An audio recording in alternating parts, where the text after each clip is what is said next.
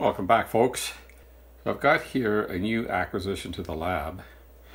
This is a, a, a well-used Anatek Model 50-1D. That means it's 50 volts, 1 amp, and the D means it's a dual supply. So these supplies are made in Canada, were made in Canada by Anatek.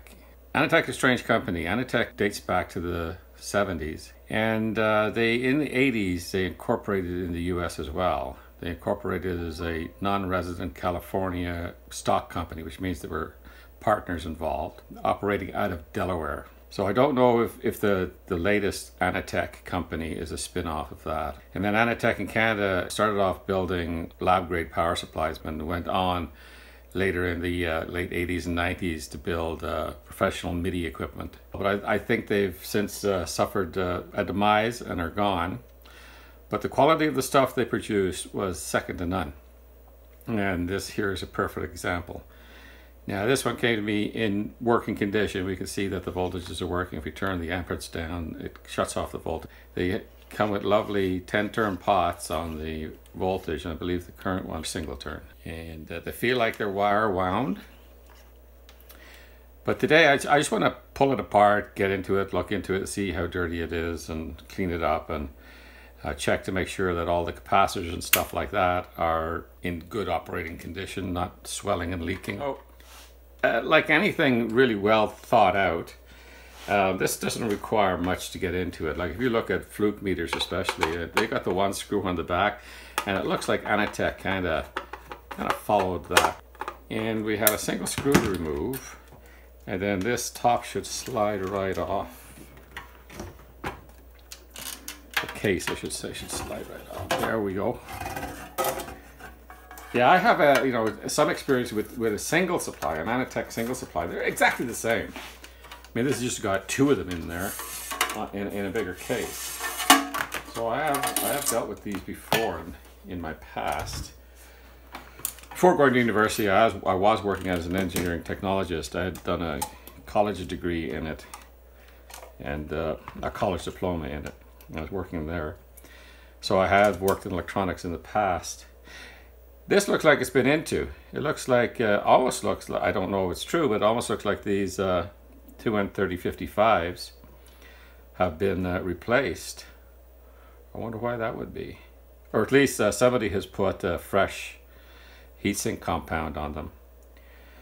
These here, the 2N6577s, they're uh, a power Darlington and they, they drive the 2N3055s, which is the pass transistor.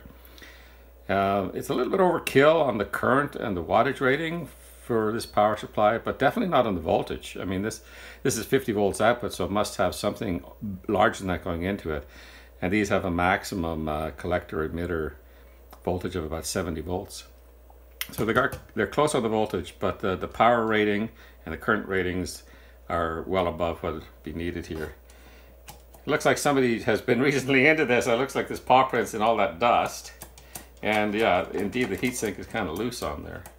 Two screws at the back here and two up there going to the meter panel. That'll remove the uh, heatsink.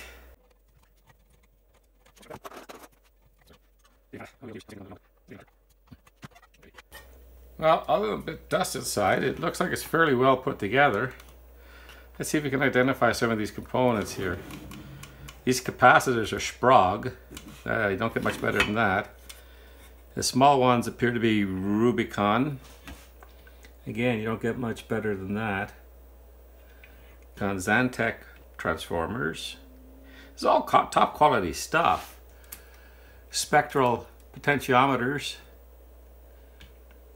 Yeah, this thing is uh, this thing is very, very well put together. And it doesn't look like there's any swelling on any of these capacitors at all. So yeah, very nicely done. I'm just gonna clean this down a little bit. I'm gonna get some air in here and blow it out and, and clean off that and come back here. So I got it all cleaned up pretty nicely.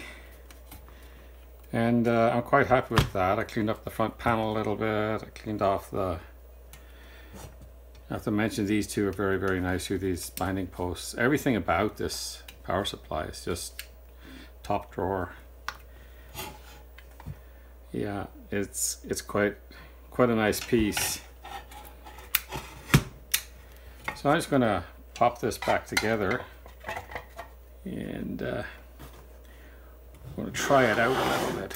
In the meantime, I also cleaned off this. It looks like it has some stickers attached to it at some point. One here, one here, which have uh, left some residue in there I can't seem to get out.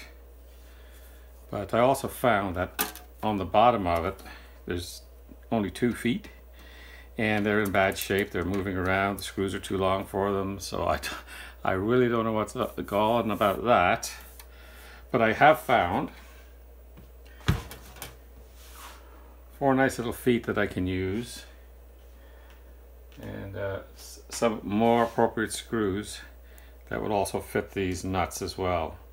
So I'm going to mount those up too. And we'll put it all back together and then we'll, we'll run it through some brief testing just to see what what's going on with it. Okay folks, we've got a, a DC load set at uh, constant resistance at 50 ohms connected and we have an oscilloscope. Uh, you should be able to see both of them up there at the top. So the first thing we're going to do, we're going to check it for turn on performance. So I've got the voltage on the, the power supply set to 50 volts and we're going to then have a look quickly at how it turns on to a full one amp load, full voltage, and we're going to record that on the scope there. So we should be able to go for the first one. I'm going to do three. That's a little weird. But uh, yeah, there's nothing harmful there. Nothing harmful there at all. Okay, let's have a look at that again.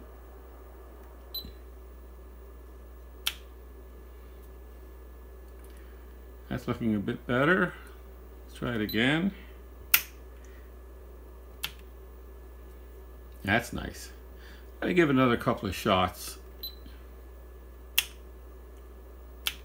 We don't have any major overvoltages coming on here. No aberrations that uh, look like it could damage uh, a device under test. So it seems to be pretty well behaved. Let's quickly switch over to the other channel too and, and see what it does. That's good. That's good too. A little bit nicer than the other one, but still, the other one had nothing to complain about. Okay, so that's pretty good. I'm going to try it down at about half the voltage. Let me set up the scope for that and we'll come right back. Okay, so I've got the, the scope is now set at 5 volts per division and the trigger set at 5 volts and let's go. That's pretty nice.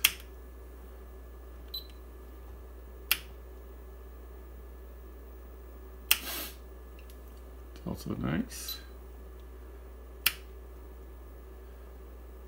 Very well behaved. Try the other channel too. Set it to 25 volts. And let's pop over there and have a look.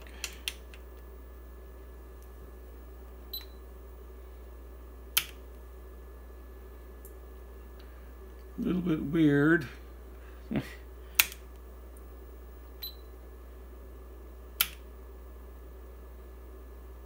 Okay.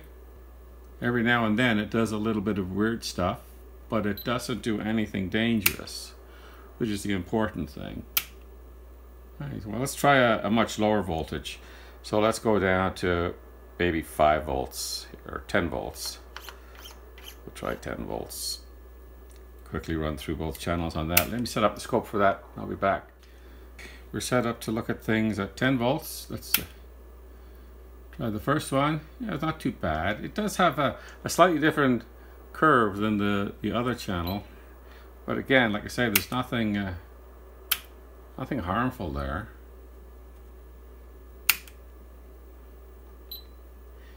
Third time. Okay. Now let's set this one up for 10 volts. Move our probes over.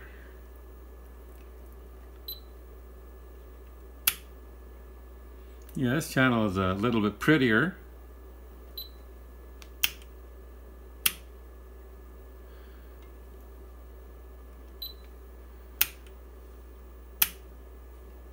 Now it's got a little thing in it there, so they're just about the same. All right, So let me set up to look at some noise figures here.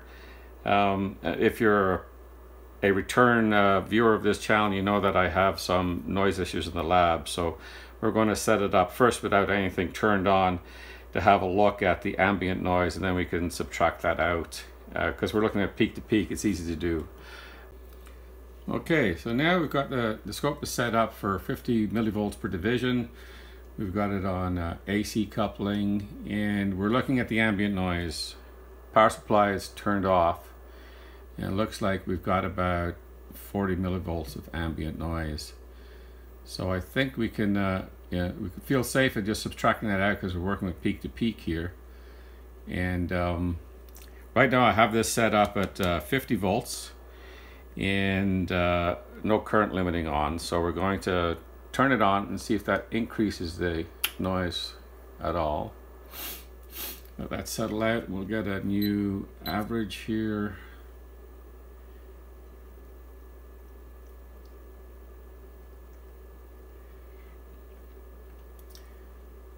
So it looks like we've gone up uh, Oh, it keeps going down here.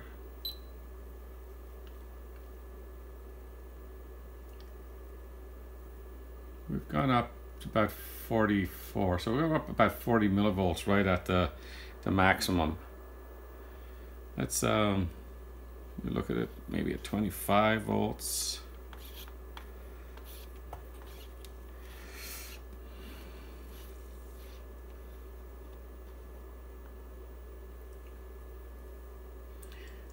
New average on that. About 5 millivolts.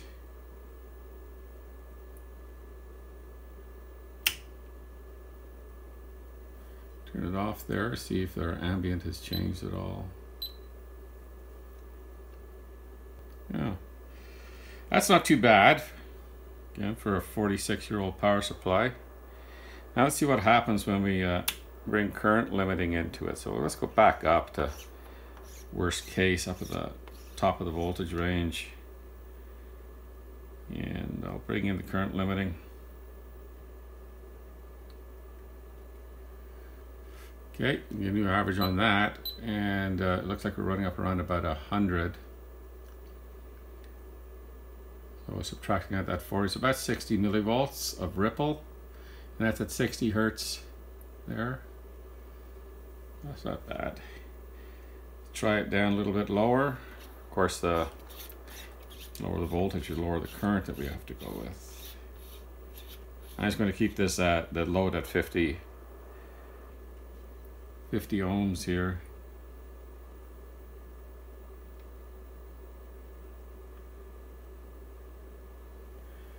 So that's exactly the same.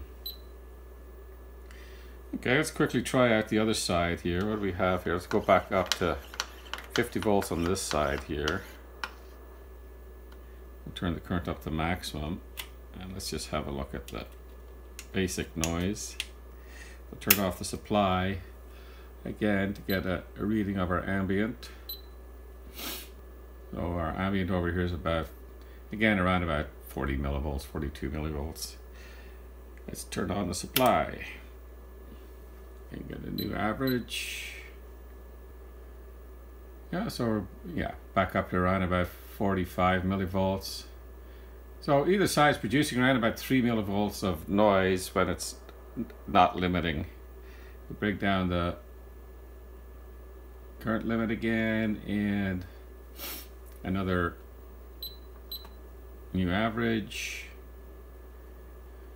So again, around about 60 millivolts of of Ripple. Yeah, I'm quite happy with this. I don't see anything uh, I should be concerned about here.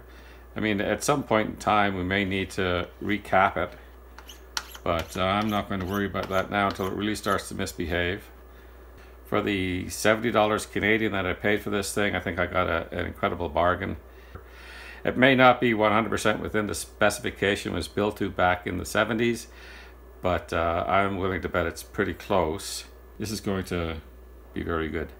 Thanks for joining me, guys. Please like and subscribe, tell others about the channel, and uh, I'll see you in the next one. Thank you very much. Bye.